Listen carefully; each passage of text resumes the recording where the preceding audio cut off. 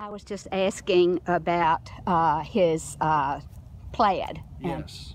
Uh, so there's three kinds of tartans. There's a family tartan. This is not a family tartan. This is a regional tartan. It's the Isle of Skye, and that's the second kind of tartan. The third kind is an organizational tartan like Black Watch. But uh, I love this. I love this plaid. It's a beautiful tartan.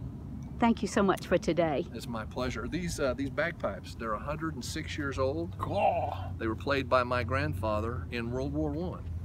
Oh, God. how special. Yeah. In World War Was he One. was, was, was over there? Was he for England? Or was So he, he, he was on the he was in in the Canadian Army, um, and uh, I, I own a half a dozen sets of pipes, and this is still by far my best, Yeah.